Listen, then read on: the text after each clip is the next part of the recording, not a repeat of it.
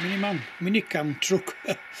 it's tender off uh, one of my old locos and I put the holder for the minicam on, screwed it down with a bit of plastic card and I just pushed my camera in. As such and there you go camera on wheels.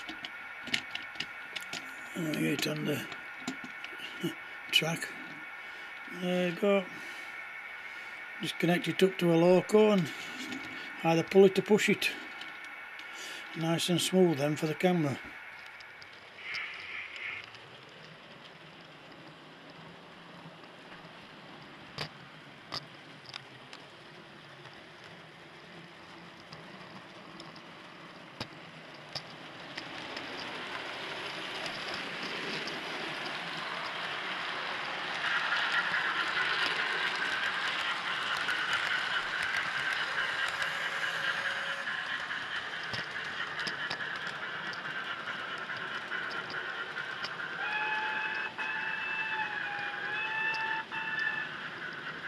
As you see, I've got all that uh, outer one line done now. I put the red rust on the track and uh, the grime and it's all looking good now, running fine on there. But another little tip I wanted to give you here, I, uh, you know I was saying we're having problems with the track and we to adjust certain bits. I'll, I'll just switch that off and then uh, I'll try and explain a bit better. When I'm saying about uh, sometimes the track movement and you get uh, you get them coming off etc. Here's a handy little tool. It's a little tiny spirit level and you put them on your track and it's amazing how you can see, especially on inclines, you'll find that you've not got your track level. Uh, I found this on this on this bend here. It was still I still had that, I told you I had that bit of a trouble, bit of problem, bother with it. But use that spirit level and a bit of plastic card, that's a bit thick is that one, but you can buy it on the sheet, it's only about one pound, one pound fifty sheet. We used to do this on level, on uh, points and what have you. Cut, cut a piece of plastic card and you can, you can push them underneath your sleepers. I'm not doing it there now because I say that's okay, but it's amazing. Uh, and then, it, of course, you can paint it, paint it same colours what your ballasting is. But uh, you can cover up.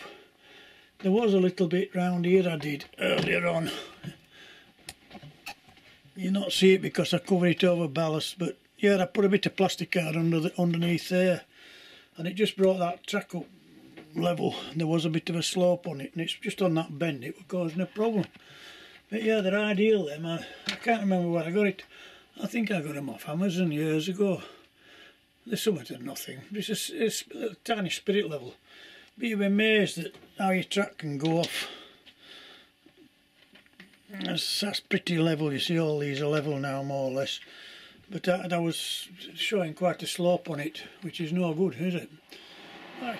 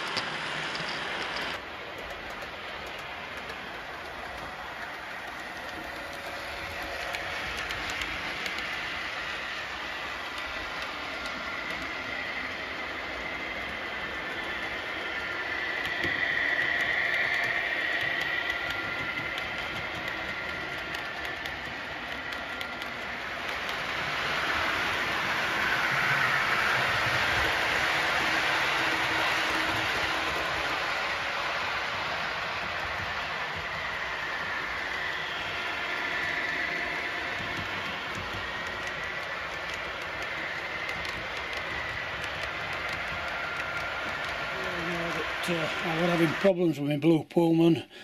Uh, it was the rear loco, which of course the motorised. Uh, well, it kept blowing the uh, the decoders and a few other problems. I tried a new decoder, I tried all sorts, I had the rewire between the two coaches. Anyway, in the end I gave up. And what I've done is I've I took the motor out. I thought, well, it'll just pull it along. And I've got a motor in the front, and of course I've got the sound in the front.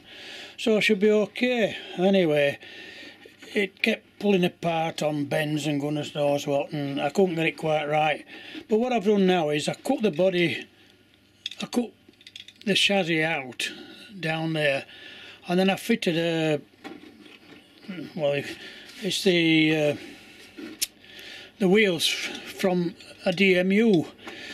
Uh, screwed that on and then I've messed around here, put a bit of plastic on, plastic card and a magnet, magnet coupling. And of course when it goes on the thingy now, and then it's just on a magnetised coupling now. But you've seen it running around anyway. But I just thought I'd just show you what I've done. And I say I've no lights or motor in the back, but it pulls it round no problem at all now. So I'm quite happy with that. I'm going to try and buy a new loco for the rear, but trying to get somebody that's just selling one, you, you can't. and you're talking for a set now, you're talking between four and six hundred pound, and seven hundred pound even. As you can see, I've had one or two locos I've been pulling in bits here.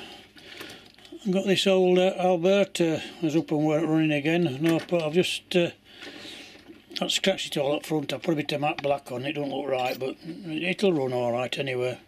There's no sound with it, I'm not bothered.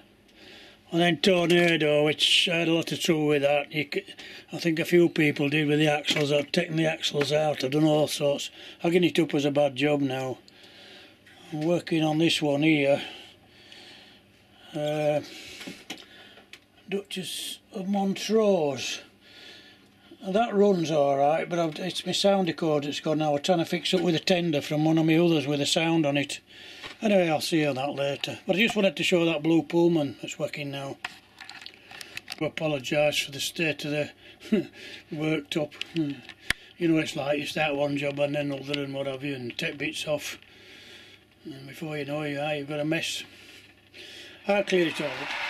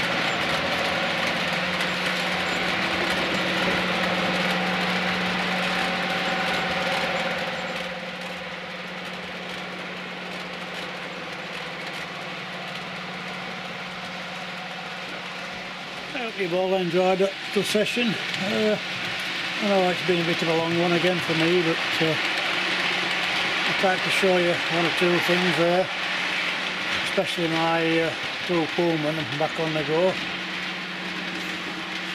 And of course, not levelling the track out, it's important is that you don't, you don't think about it, do you normally, but if you're laying on a flat surface, but when you're doing inclines, etc., you do get the track doing a little bit of get that bit of curve on it.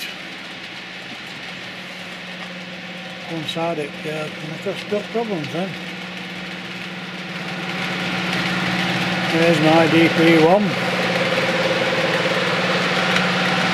Might have the sound enhanced on that one, it wants uh, an OZM2 speakers on it. Right, that's it for this time. I'll love you and leave Thank you.